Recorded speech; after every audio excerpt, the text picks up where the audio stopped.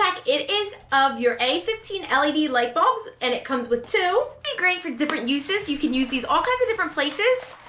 This is what they look like right here. So they're your perfect size refrigerator. So these can be used inside your refrigerator if you need to replace your refrigerator light. So if you guys can see right here with your refrigerator light, this just replaced it, so it works great. It's perfect for in your refrigerator. You can also use it different things, but if you can see right there, I just installed the new one and it works great.